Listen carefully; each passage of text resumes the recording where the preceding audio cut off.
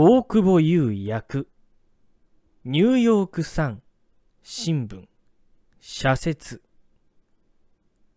サンタクロースはいる。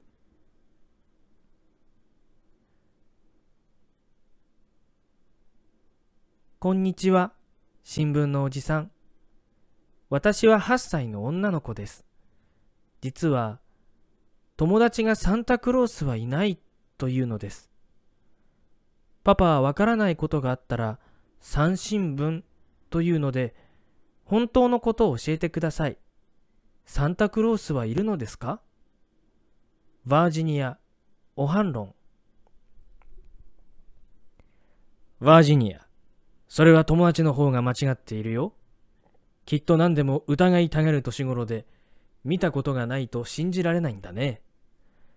自分のわかることだけが全部だと思ってるんだろう。でもね、バージニア。大人でも子供でも何もかもわかるわけじゃない。この広い宇宙では人間って小さな小さなものなんだ。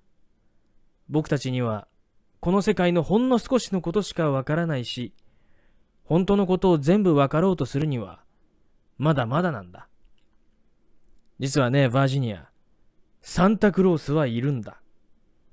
愛とか、思いやりとかいたわりとかがちゃんとあるように、サンタクロースもちゃんといるし、そういうものが溢れているおかげで、人の毎日は癒されたり潤ったりする。もしサンタクロースがいなかったら、ものすごく寂しい世の中になってしまう。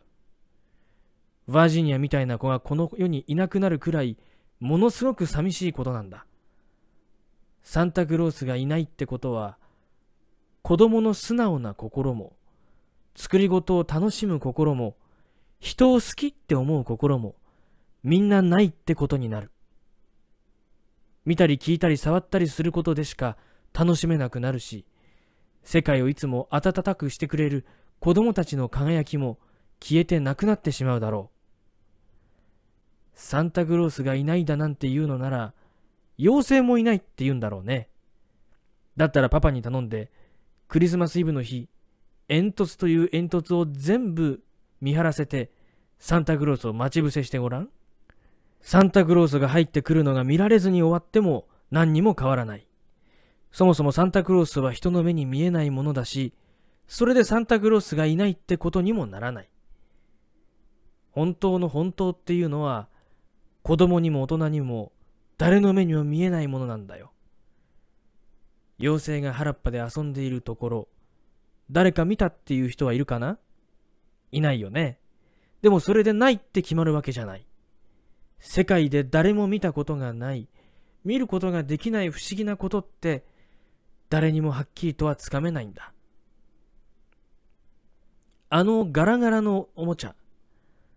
あれの中を開ければ、弾が音を鳴らしているってことがわかるよね。でも目に見えない世界には、どんなに力があっても、どれだけ束になってかかっても、こじ開けることのできないカーテンみたいなものがかかっているんだ。素直な心とか、あれこれたくましくすること、したもの、それから誰かに寄り添う気持ちや、誰かを好きになる心だけがそのカーテンを開けることができて、その向こうのすごく綺麗で素敵なものを見たり、描いたりすることができる。嘘じゃないかってバージニア。いつでもどこでも、これだけは本当のことなんだよ。サンタクロースはいない？いや、今この時も、これからもずっといる。